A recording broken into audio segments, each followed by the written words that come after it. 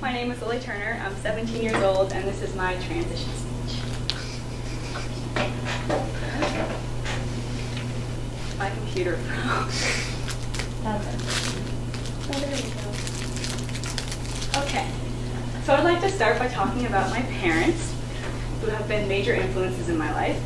Um, my mom, Tammy, and my dad, Paul, have really made a profound effect on my life, not just by bringing me into this world, but also raising me.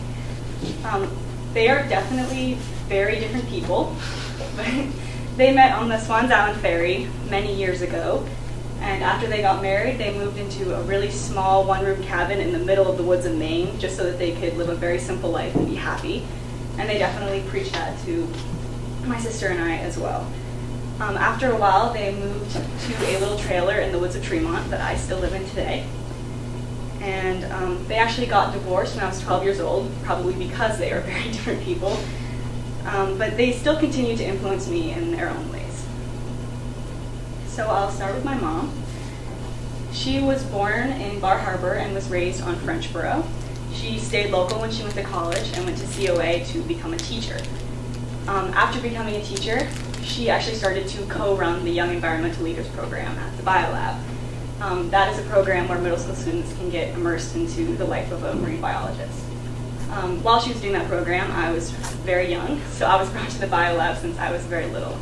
And I would spend my days um, looking through telescopes with Jane Disney or running around this huge tank full of dogfish.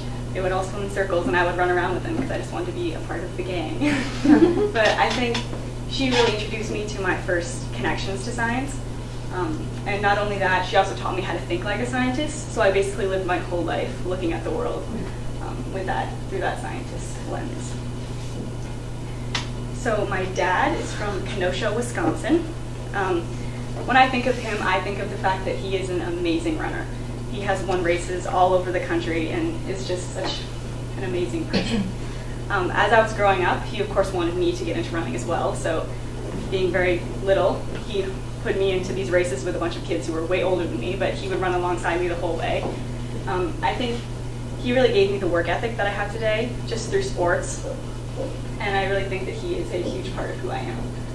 Um, another thing that I think of when I think of my dad is the fact that he is a landscaper, and it's kind of more than just his profession. He also kind of views the world in this really unique way where he just sees nature as a work of art and he creates works of art using nature.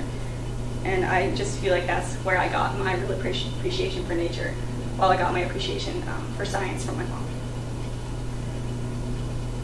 So, my childhood. I was born in Bar Harbor on February 5th, 2001.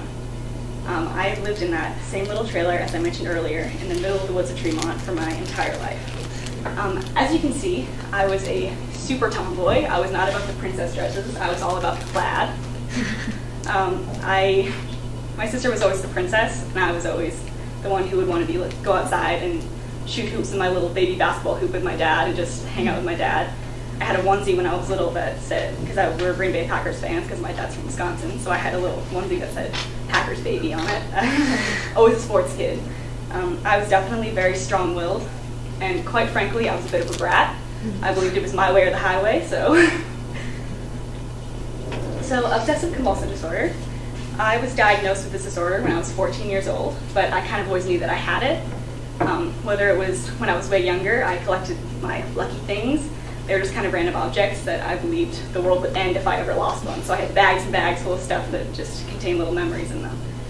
Also, when I was about seven years old, the only thing I wanted for Christmas was a vacuum so that I could clean my room the right way. Because apparently my dad just wasn't doing it right. so I, I, kind of always knew that I was very obsessive. Um, but yeah, the, the kind of definition of the obsessive compulsive disorder, if you don't know, is basically just obsessive behaviors which lead to repetitions. Like, for example, the number that I do everything in is sets of three. So if I leave a room, I'll tap a chair three times, or if I mess up, I'll have to start over and do it a couple more times. A lot of people don't notice it because I've had it my whole life and I never took medication for it. So I kind of found a way to not let it hold me back. Despite it seeming like it would be something that I would struggle with, it's actually something that has helped me a lot. Most of all, it's kept me very, very organized, for sure. And um, rather than letting the anxiety that it gives me uh, kind of negatively impact me, I use it as motivation. Like my incredible fear of becoming disorganized, So it allows me to do class assignments really early. I don't know if any of you have noticed.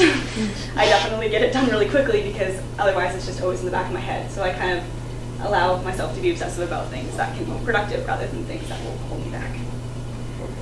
So the outdoors.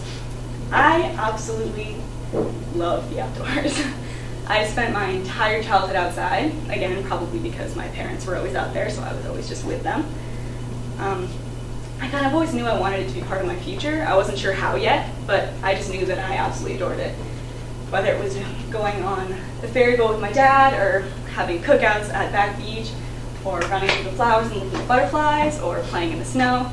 Um, most of all, you can see on the left there, I loved playing in my backyard. That was my absolute favorite thing. So, some of my initial interests. Tarzan. Tarzan changed my life. if I had never watched this movie, I don't think that I would be who I am today. Um, I love Tarzan so much that I actually wanted to be Tarzan, to the point where I would refuse to use silverware when I ate, because animals didn't use silverware when they ate.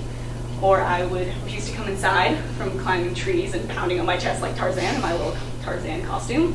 Um, more than just wanting to be Tarzan, I also wanted to be Jane. I wanted to both be an animal and be amongst the animals, but also help the animals and study the animals. Um, so it really just created this complete love of the outdoors because I just always wanted to be out there being Tarzan. Um, another thing that I really liked when I was younger was insects, which seems like a really weird thing to like when you're little, but they were small like me, so I felt we connected. Um, I love them so much that I had my mom paint little cartoon ones all over my wall. They're still on my wall today. I had a matching comforter that had insects on it.